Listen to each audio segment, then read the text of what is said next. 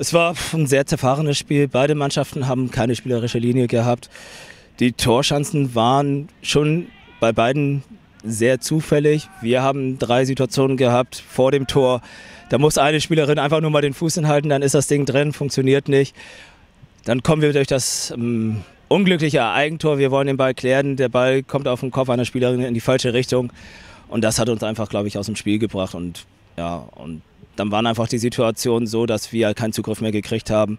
Dann das 3-0, ein Fernschuss aus knapp 25 Metern, wo wir im Spielaufbau sind, unsere Torhüterin auf dem Weg nach vorne ist und der Ball über sie hinweg geht. Unglücklich, aber ich, ich denke mal, das entspricht dem Spielverlauf. Beide Mannschaften haben hier nicht überzeugt, aber Berghoff war letztendlich bissiger.